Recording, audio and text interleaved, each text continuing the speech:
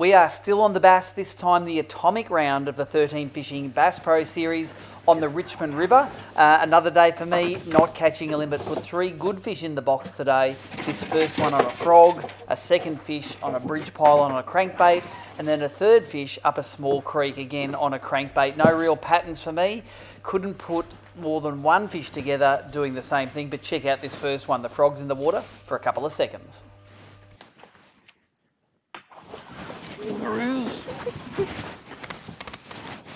And this cast the frog. Get out of that big unit.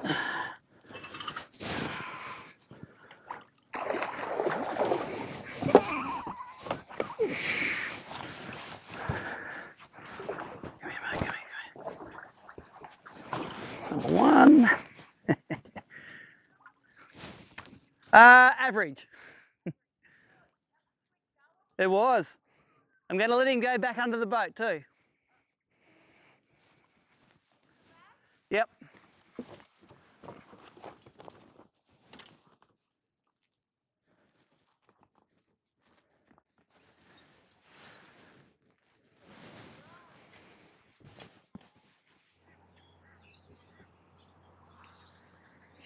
There's a couple of fish in the little scoop out at the bottom here. I don't know if they're bass or probably bream.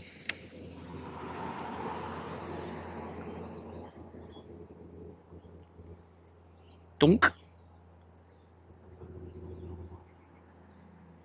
It feel like bream to me.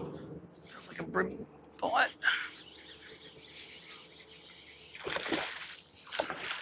Nope. That ain't no bream. It's an EP. No, uh, it's just a fat old bass. Now bass number two. Geez, he pecked that like a bream. That's a good fish. Pecked it.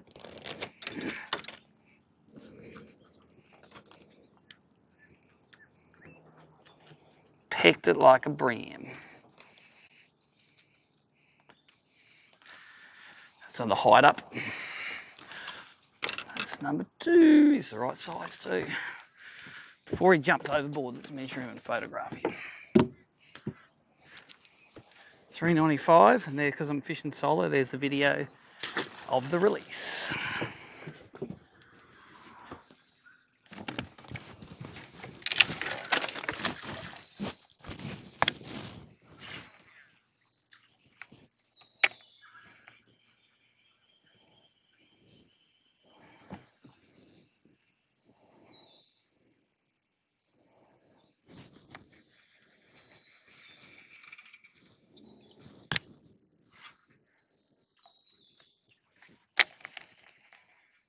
Yep, that's him. Oh, good.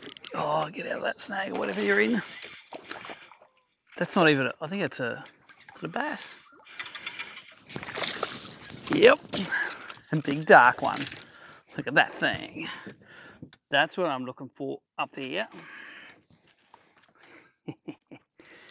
that snag, eh? I'm sure you can see that belted off the top. That's awesome. I've never fished before. If it's there, go up it. And that was it. Three bass for over 100 kilometres on the water. Um, as I said in the live stream, I had a uh, had a little issue with my trim sensor and I wouldn't trim up fully on the way down. So I didn't do the big run all the way down to Emigrant Creek. Might try that tomorrow. Um, I've got Matt Cameron on board who's... Uh, coming fourth in the non-boaters, so uh, I've caught some big fish in there in the past, so we might give it a go and see if we can be heroes or zeros. This is the track from today on the Relive app. Um, bounced between a lot of bridges, some little creeks, some shady edges, and as I said, there was no real pattern, nothing really to uh, to jump back on tomorrow. All of the fish I caught were local fish, I thought, that lived in these particular areas. Um, day two is another day. Mick Johnson's leading this thing by a mile, but there's a top 10 to be had.